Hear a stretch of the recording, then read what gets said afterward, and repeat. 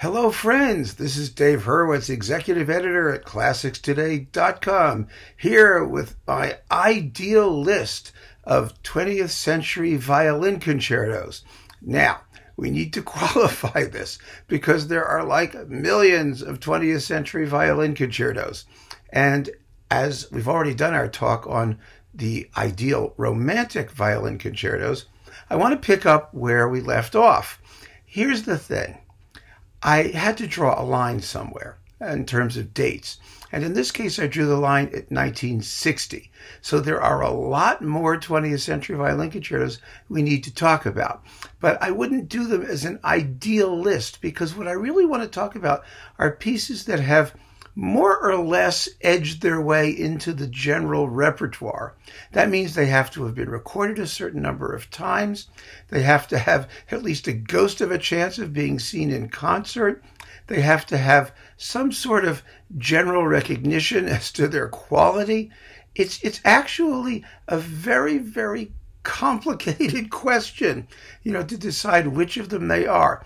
And I feel that after 1960, we're dealing with a, a whole new crop of them that I wouldn't call repertory pieces yet. There hasn't been enough time for them to get into the repertoire. And so, and so, I mean, some of them have been recorded multiple times, but that's a different talk. It's, it's what I would call the modern violin concerto list, or at least at least a list of concertos that I think or that we'll talk about that deserve to become part of the repertoire. And so that we'll we'll we'll put off for now.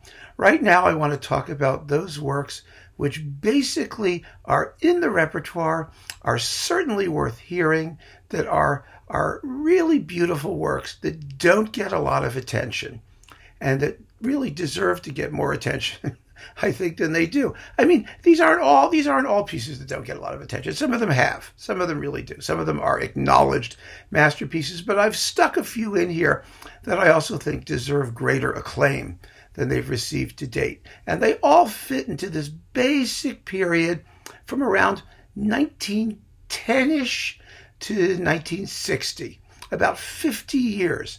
One of the things that's so remarkable about this period, as I said before, is that, you know, the 19th century, the number of great romantic violin concertos, even though there were lots of violin concertos written, is very, very small. But just as the, the golden age of orchestral writing happened from about the 1890s on, the same thing happened with violin concertos. It's really a very, very interesting phenomenon. There are more good violin concertos written after the turn of the 20th century than were written before. Part of the reason is because is because they were all written by major composers for other violinists. They weren't written by violinist composers. That is, composers who were principally violinists and composers second. And so they wrote a lot of trashy violin music for themselves to play the idea of writing a violin concerto for another soloist and the demand for repertoire from great violinists for great concertos is a very, very new thing. It, it happened rather later than the same situation with piano concertos. Also, also because most composers were keyboard players first and foremost and not violinists, there were always fewer violin concertos that were being composed. But in the 20th century, composers finally sort of sucked up their pride and talked to actual violinists and wrote pieces for violinists and consulted them in how to properly write concerto style music for the violin. And the result has been a, an explosion of really fine violin concertos by a very large number of composers. And so it's very exciting to, to talk to you about this because it really is, historically speaking, a fairly recent phenomenon, one that isn't really acknowledged or spoken of. I mean, for those who are of a scholarly bent, there's a serious paper in there about the, the growth of the violin concerto. And it tells us also in violin concertos, almost more than any other bit of the orchestral medium, that there really was great music being written, great classical music being written that's contemporary. And because these are really among the best concertos for the violin. It's kind of amazing. So I have something like 15 of them here, which is a pretty good number. And let's talk about them. And then if you want to give me your list, you can give me your list, or you can toss in one that you think I left out. I mean, there's some that I just decided not to include, like the Khachaturian, because I think it's awful. But most of the, I think, major ones are here, and there will be a couple that uh, maybe you didn't expect. So here goes. First, I'm picking up exactly where we left off with the ideal list of romantic concertos. You may recall that we ended with Sibelius, which was composed in the early years of the 20th century, like 1905 ish, around there.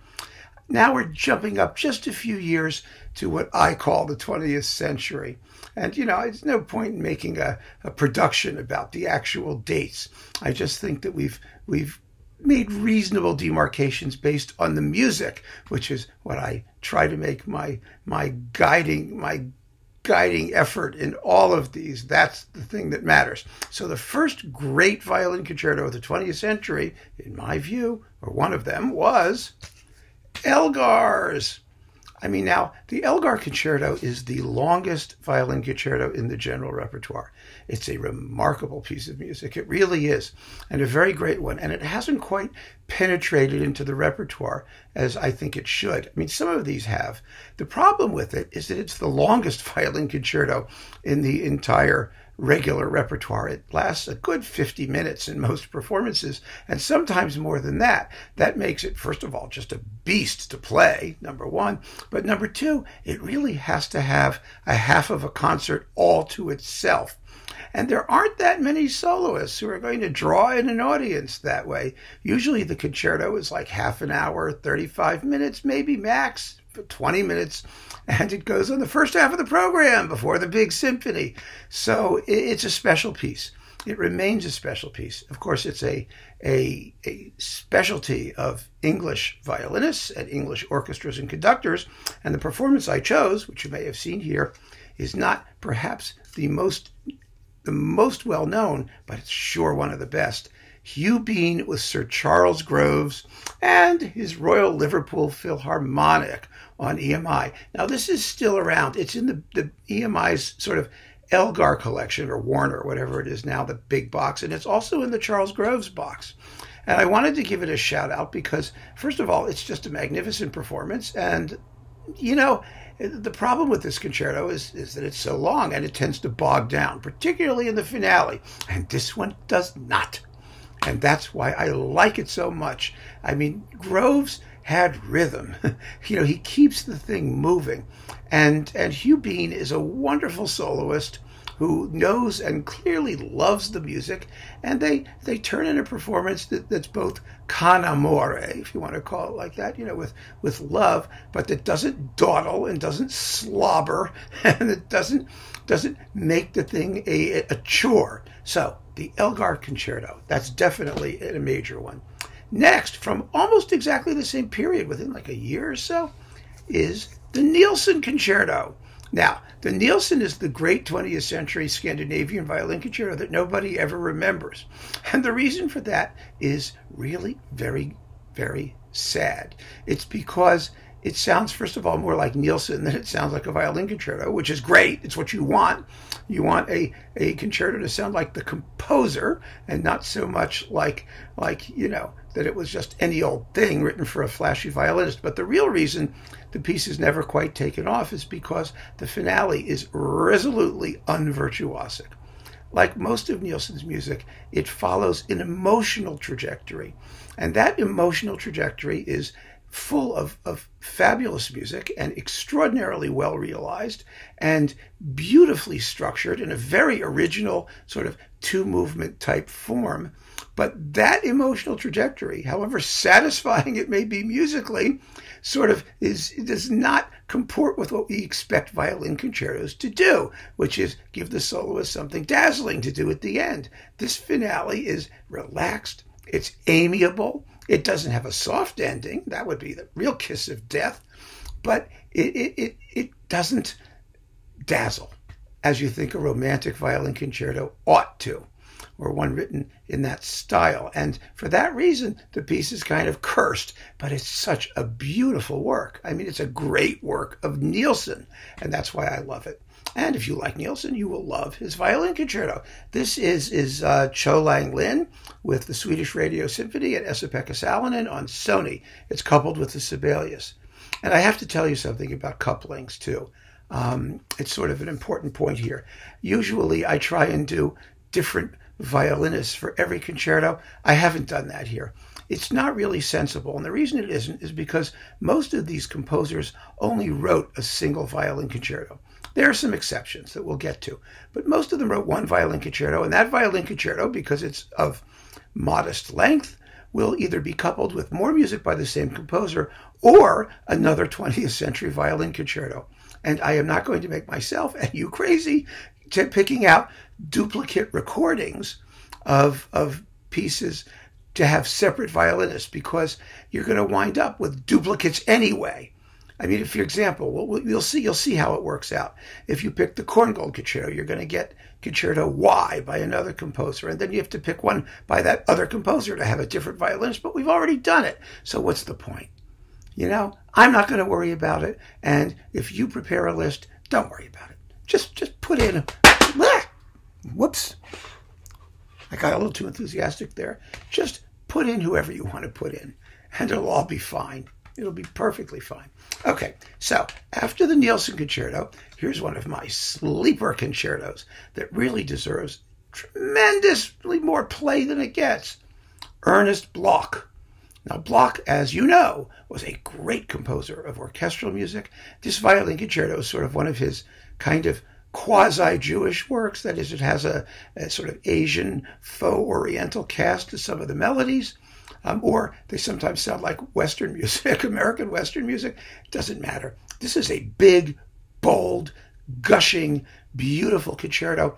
The only problem with it is that it tends not to move very quickly if you don't perform it. I mean, it's a, it's about the performance. You need to give it energy and juice and keep it going. And if you do that, it's going to be absolutely magnificent. And it really is here.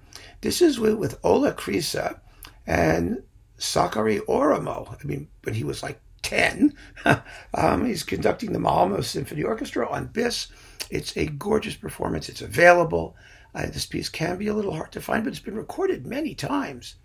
It really has. I mean, there's the famous old recording with Szigeti. I mean, the piece is a gorgeous, gorgeous violin concerto that deserves to stay in the repertoire. So, Ernest Bloch, give it a shot if you haven't. It's absolutely beautiful. And Bloch wrote a lot of really good music for violin and orchestra. He was a wonderful composer for stringed instruments generally. So I don't know. Like most of his music, it seems to be out of favor now. It deserves not to be. But here are two that have never been out of favor. And I'm talking about Berg. and in this case, Stravinsky. This is the classic Perlman Ozawa recording. You also get Ravel's Tzigane, Ravel's worst piece of music, but that doesn't matter. Um, you know, the Berg, of course, is one of the iconic 20th century works for violin and orchestra, and it's going to be the subject of a talk all by itself rather soon. Don't worry. And uh, the Stravinsky, of course, is another absolute classic, and this is a great coupling absolutely great coupling. Perlman is fantastic in this music. Ozawa is an ideal interpreter for Stravinsky and Berg. He does modern music so well with, with such clarity and finesse and elegance. And you've got the Boston Symphony, and there is nothing not to love. The disc is a classic. It always has been. I saw in the comments somebody sort of sneered sneered at it for some reason. I have no idea why. Don't listen to anyone who tells you otherwise. You know, there are just some great performances out there that have been acclaimed and deserve the acclaim, and there will always be naysayers, and we should ignore them, unless it's me, in which case you should pay very close attention. So, after Stravinsky and Berg, we get Bartok. Now, the Bartok first concerto, I, I, dislike that piece. Oh gosh, I think it's just irritating. It's in two movements. Bartok didn't like it. He he cut it in half. He made the first movement uh, a separate a separate component of another piece, the two portraits, one ideal, one grotesque. It's the ideal one. I think a lot of work is just sort of chromatic sludge, and it's never really entered the repertoire. So, so the Bartok concerto we're talking about is the second, number two, which has been rec- recorded wonderfully many times. Um, I also have a problem with that work, me personally.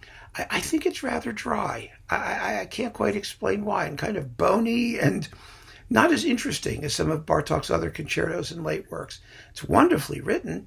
I, I acknowledge its mastery as a composition, but it doesn't it doesn't hit me but I still have to mention it. You may feel very, very differently about it.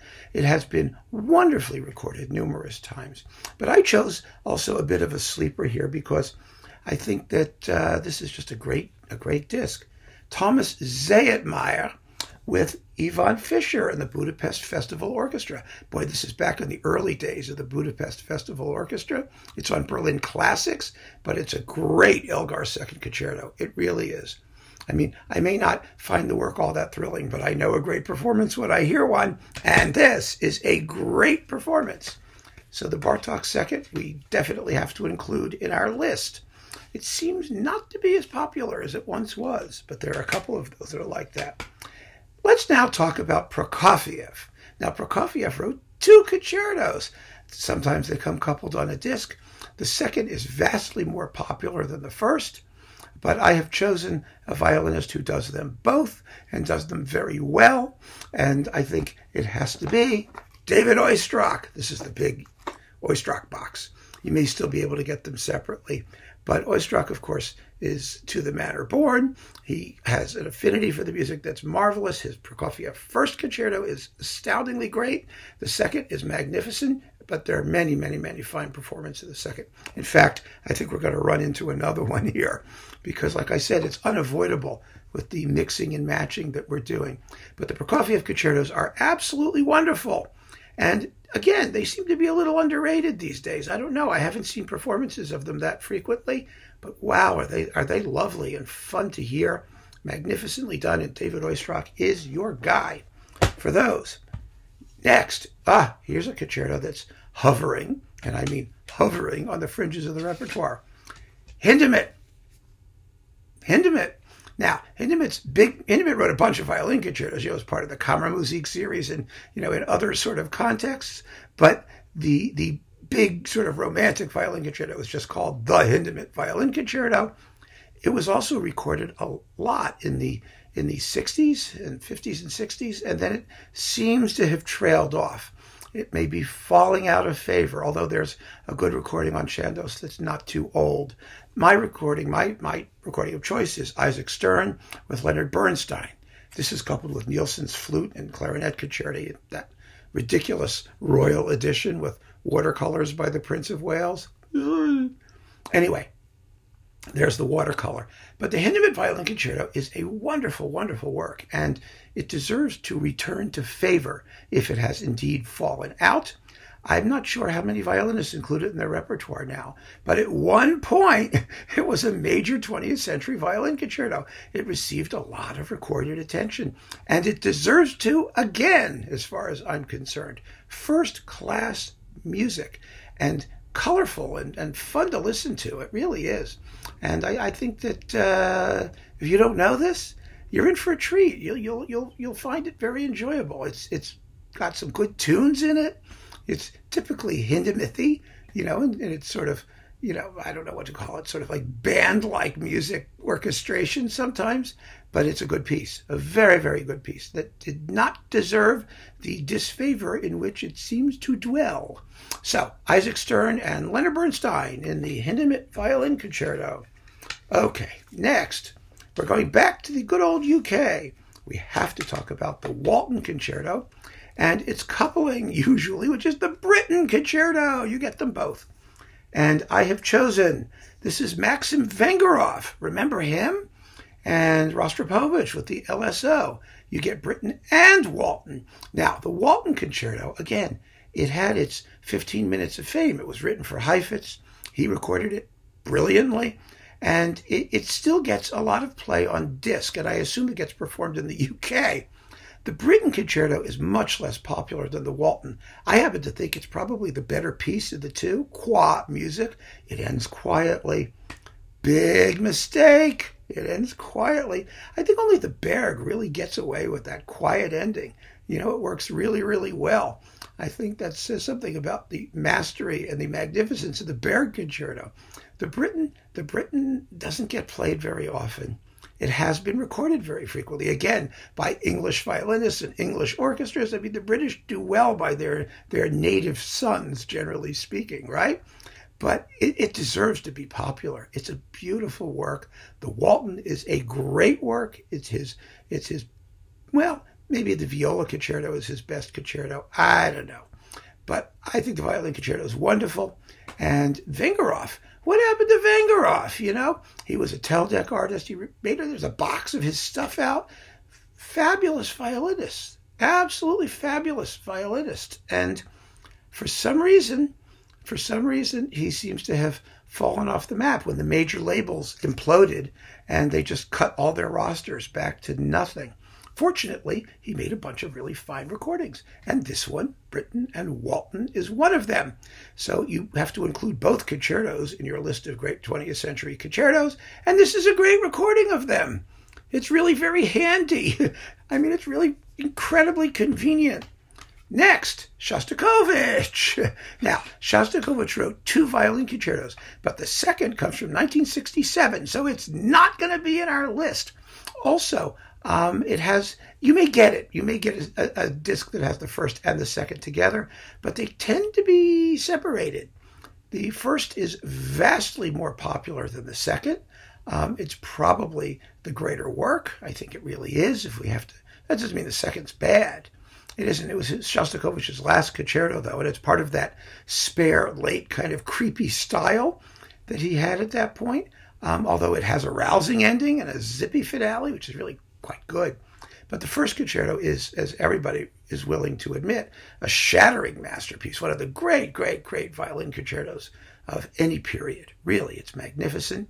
And again, I've gone a little bit off the beaten path here to leave room for you to pick all of the obvious ones, like, you know, Oistrakh and Mitropoulos, and, you know, some of these other guys. Vadim Repin, Remember him? he was kind of like Vengerov. He was another one of those Russian guys who made a bunch of recordings um, during the heyday of the, the CD explosion and then seems to have gone poof. I mean, I assume he's still out and about somewhere. He's not making records regularly. But this is a great performance with Kent Nagano, the Halle Orchestra on Erato, and it's coupled with the Prokofiev second. This is what happens with all these violin concertos. They all get mixed and matched. I mean, Vengerov, he did both Prokofiev concertos, but he didn't couple them together. He coupled them with Shostakovich concertos. That's how it tends to work in these circumstances. So for the Shostakovich concerto, I'm suggesting Vadim Repin if you can find him. But oh, there's so many other great ones. I mean, there's Oistrakh, there's Mullova, there's there's I could just I could keep going and going and going. It's such a great piece of music. My God, it's a great piece of music. So, you know, take your pick, have a good time, just listen to the thing. Boy, that Central Passacaglia, the slow movement, is without question one of the most noble and majestic and transfiguring pieces of music ever written for the solo violin. It's incredible, absolutely incredible. But the whole work is that way. It's simply marvelous. So get your Shostakovich Violin Concerto. Next, here's another twofer. Twofer. Barber Korngold. They actually go rather well together. Both people, you know, some people might regard them as sort of, you know, schlocky, you know, faux romantic, you know, pieces of kind of film music. Of course, the Korngold is film music. It's based on his music from The Prince and the Pauper and Another Dawn and a whole bunch of other movie scores. Not that it matters. It doesn't. The Korngold has made a huge comeback because romantic music and tonal music has made a huge comeback. Comeback, and now people love it as they should. It's gorgeous. And The Barber is a great work too. I don't care what anyone says. You know, you don't knock something because it's tuneful and gorgeous. I mean, that's just stupid. I'm telling you right now, all of you, you know, ascetic, uh, you know, the ascetic modern music, you know, monkish sufferers, you know, just because a composer writes a tune, the fact is the violin is a melody instrument. It's suited to tunes. Barber wrote great tunes for it, and it's a fabulous, fabulous piece of music. And these are fabulous performances with Gil Shaham and Andre Previn. Absolutely fabulous in both works. Uh, they're, they're magnificent. And both of them have been now recorded so frequently that you have, have no problem finding them together or separately with other things. I mean, there's just no, no difficulty at all. Of course, the classic Barber was the Stern and Bernstein, which is wonderful. I always liked the Elmar Oliveira with Slatkin on EMI. That's wonderful. And Korngold. Ah, it was written for Heifetz. He recorded it. He recorded it fabulously. The sonics aren't so hot. It was a mono recording, but you know, it's it's a fantastic performance, of course. And just about every other violinist worth his salt has been doing it. And particularly nice is the fact that young violinists do it now. I mean, Perlman did it, but I would go for this. I would go for it for Gil Shaham. He's such a terrific violinist. And this recording is one of his very, very best. Absolutely beautiful. So Barber and Korngold. Finally, last but not least, by any measure, this may also come as a bit of a surprise to you, but it's one of the great 20th century violin concertos, and that is Bernstein's Serenade after Plato's Symposium. I mean, he didn't call it a violin concerto, but it's a violin concerto. It's in five movements. It has all the things a violin concerto has. It's brilliantly written, really wonderfully written. Bernstein had a characteristic concerto scoring, which was strings, harp, and percussion which is fabulous. He used it for the three meditations from Mass for the cello and also for Halil for flute and orchestra. It's a perfect medium in which to write concertos because because it has lots of color and it's capable of lots of energy and rhythm and excitement, but it, it never overwhelms the soloist. It's such a smart way to write a concerto and deal with the, the issues of balance of forces. And the symposium, the serenade after the symposium, is just a gorgeous work. It's one of Bernstein's out and out masterpieces, and it's very popular. It gets performed regularly. Um, it's been recorded many, many times. It's really in the repertoire. It's in the modern repertoire, and I think it has to be on any short list of eight grunt of any short list of eight no any short list of great 20th century violin concertos. So I chose Gidon Kremer with Bernstein is my pick, but you could pick Isaac Stern with Bernstein twice, and then maybe a dozen others, all of which are very very good. I'm so happy that this work has entered the repertoire because it deserves to. It cements Bernstein's reputation as a first class composer, which he really was.